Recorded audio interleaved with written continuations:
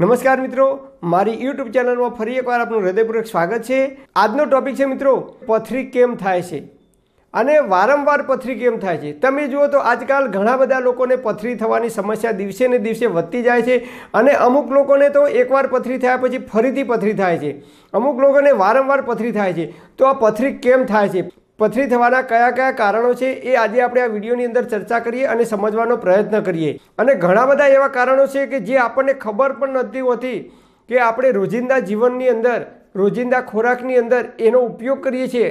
છતાં આપણને ખબર હોતી નથી કે આ વસ્તુ, કે આ રીતે આપણે ભોજન કરીએ છીએ, કે આ રીતે આપણે નાસ્તો કરીએ છીએ, કે જેના કારણે આપણને પથરી થાય છે. તો પથરી કેવી રીતે થાય છે? આપણે ઘણીવાર જોઈએ તો અમુક લોકો આપણને સલાહ આપતા હોય છે કે ભાઈ પથરી થાય તો ટામેટાનો ઉપયોગ કરવો નહીં, પાલકનો ઉપયોગ કરવો નહીં, ચા નહીં પીવી, કોફી નહીં પીવી. તો આ બધા વસ્તુઓનો ઉપયોગ કેમ નહીં કરવો? કયા કારણથી નહીં કરવો?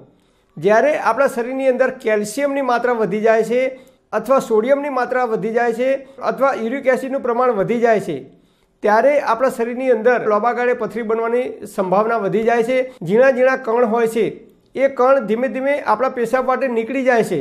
પરંતુ આપણે સમયસર પેશાબ નથી કરતા. ઘણીવાર તમે જુઓ તો ઘણા લોકોને ટેવ હોય છે. કોઈ જગ્યાએ થિયેટરમાં પિક્ચર જોવા ગયા હોય, ઘરેથી નીકળ્યા હોય તો અડધો કલાક જવાનો, ઘરે આવવાનો અડધો કલાક અને થિયેટરમાં ત્રણ કલાક સુધી અમુક લોકો બેસી રહે છે. અથવા કોઈ જગ્યાએ મિટિંગ હોય, કોઈ જગ્યાએ ડાયરો હોય અને એમાં આપણે ગયા હોઈએ તો ઘણા લોકો ચારથી પાંચ કલાક સુધી પેશાબ આવે છતાં રોકી રાખે છે. અમુક વાર તમે જુઓ, તો આપણે બજારની અંદર ખરીદી કરવા ગયા હોય, મોટા મોલમાં ખરીદી કરવા ગયા હોય, તો અમુક લોકોને બહારનું જે ટોયલેટ હોય, એ અનુકૂળ ના હોવાને કારણે તેઓ એનો એવોઇડ કરે છે, એનો ઉપયોગ કરતા નથી. ઘરે આવ્યા પછી તેઓ પેશાબ જાય છે. મતલબ કે ચારથી પાંચ કલાક સુધી પેશાબ સંઘરી રાખે છે.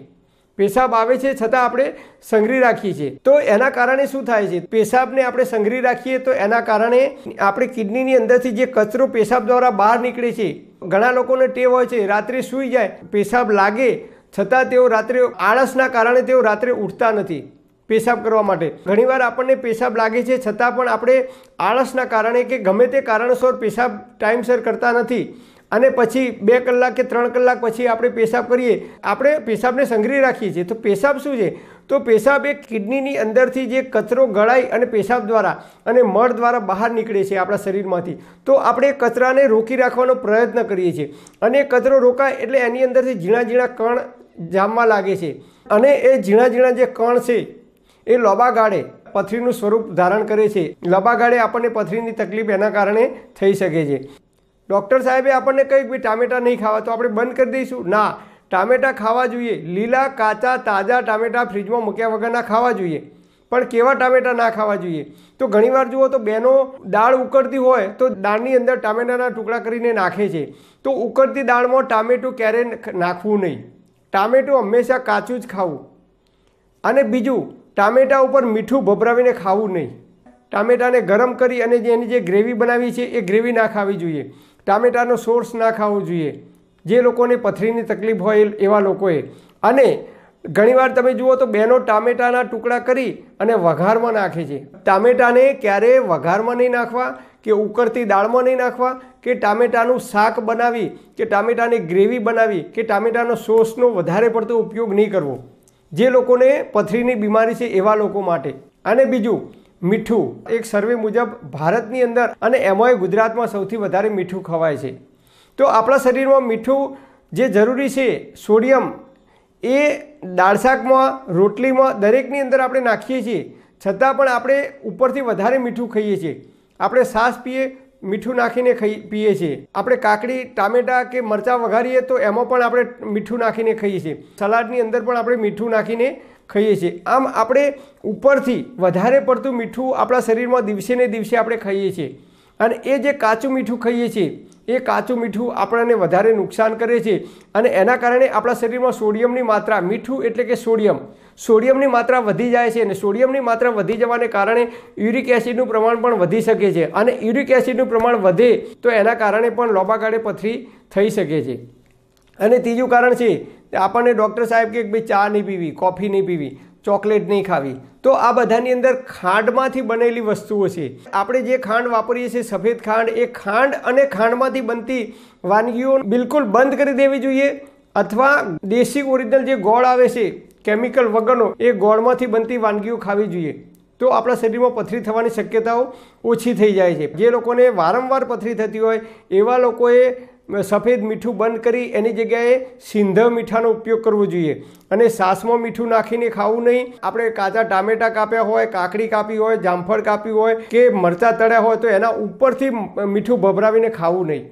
ખાંડ અને ખાંડમાંથી બનતી આઈટમો બિલકુલ ખાવી નહીં અથવા ઓછી કરી દેવી જોઈએ. ચા પણ ગોળની જ પીવી જોઈએ, મીઠાઈઓ પણ ગોળની જ ખાવી જોઈએ. ખાંડનો ઉપયોગ બિલકુલ ઓછો કરવો જોઈએ. તો જ આપણા શરીરની અંદર લોબા ગાળે પથરીની સમસ્યા નહીં થઈ શકે. અને ત્રીજું, તમે જુઓ તો આપણે બહારના જંક ફૂડ ખાઈએ છીએ. આપણે કેળા વેફર લાવીએ, બટાકા વેફર લાવીએ, સિંગ ભુજિયા લાવીએ, કે ગમે તે વસ્તુ લાવીએ તો દરેક વસ્તુની અંદર મીઠું ખેલું જ હોય છે. વધારે પડતું મીઠું ખાઈએ છીએ. એના કારણે સોડિયમની માત્રા વધી જાય છે.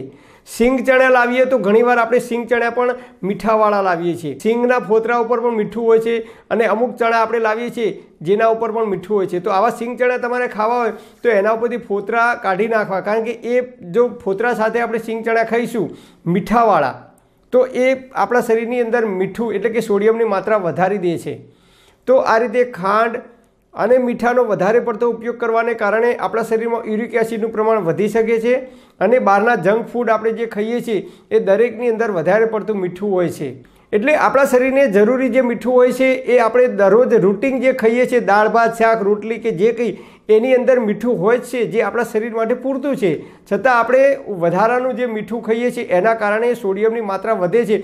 અને આપણને ખબર જ હોતી નથી કે આપણે વધારાનું મીઠું ખાઈએ છીએ, એવી આપણને ખબર જ હોતી નથી. તો આ રીતે આપણે વધારાનું મીઠું ખાઈએ છીએ, એના કારણે લોબા ગાળે પથરી થવાની શક્યતાઓ રહેલી છે.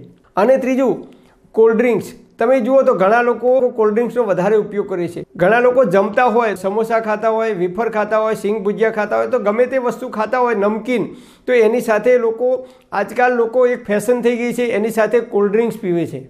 કોલ્ડ ડ્રિંક્સનો પણ વધુ પડતો ઉપયોગ કરવાને કારણે પથરી થવાની પૂરેપૂરી શક્યતાઓ રહેલી છે આપણા શરીરની અંદર. આવી બધી આ નાની નાની બાબતોનું આપણે જો ધ્યાન રાખીશું રોજિંદા જીવનની અંદર, તો આપણને લોબાગાળે પથરી નહીં થઈ શકે. સફેદ મીઠાની જગ્યાએ સિંધવ મીઠું વાપરવું અને શક્ય હોય, તો આપણે જે રિફાઇન તેલ ખાઈએ છીએ કે ડબલ રિફાઇન, એની જગ્યાએ શુદ્ધ ઘાણીનું જે તેલ આવે છે, શુદ્ધ કેમિકલ વગરનું, એનો ઉપયોગ કરવો જોઈએ.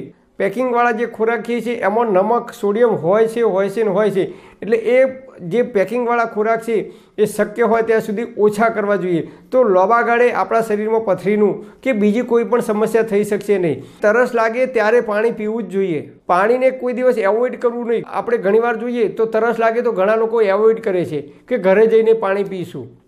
અથવા બસમાં મુસાફરી કરતા હોય અને તરસ લાગે તો ત્રણ ચાર કલાક સુધી તેઓ પાણી પીતા નથી. અથવા કોઈ જગ્યાએ આપણે ડાયરામાં બેઠા હોય, કોઈ જગ્યાએ હોલમાં, કોઈ ફંક્શનમાં બેઠા હોઈએ, તો પણ આપણે ત્રણ ચાર કલાક સુધી તરસ લાગે, છતાં પણ પાણીને એવોઇડ કરીએ છીએ, પીવાનું આપણે ટાળીએ છીએ. આયુર્વેદમાં કહીએ છીએ કે જે કંઈ આવેગ આવે છે, ભૂખ લાગે તો જમી લેવું જોઈએ, તરસ લાગે તો પાણી પીવું જોઈએ અને પેશાબ લાગે તો પેશાબ કરવા જવું જોઈએ અને આપણને ટોયલેટ લાગે તો ટોયલેટ કરવું જોઈએ. તો આપણા શરીરના કોઈ પણ આવેગને ક્યારેય રોકવો જોઈએ નહીં. જ્યારે જ્યારે આપણે આપણા શરીરની અંદર જે કંઈ આવેગ આવે છે કુદરતી, એ આવેગને આપણે રોકવાનો પ્રયત્ન કરીએ છીએ અથવા રોકીએ છીએ ત્રણ કે ચાર કલાક સુધી, ત્યારે આપણા શરીરની અંદર કંઈક નવું જ બને છે. એના કારણે આપણા શરીરની અંદર કંઈક ના કંઈક મુશ્કેલીઓ આવવાની શક્યતાઓ રહેલી છે. તો આ રીતે આપણે થોડીક કાળજી રાખીશું અને જીવન જીવવાની શૈલીમાં, ખાણીપીણીની અંદર અને આપણી રહેણીકહેણીમાં થોડું પરિવર્તન લાવીશું, તો જ્યાં સુધી આપણે જીવીશું ત્યાં સુધી તંદુરસ્ત અને નિરોગી જીવન જીવી શકીશું. પરમપિતા પરમાત્મા, આપ સર્વેને તંદુરસ્ત અને નિરોગી રાખીએ એવી હૃદયપૂર્વક મારી પ્રાર્થના. Thanks for watching my video thank you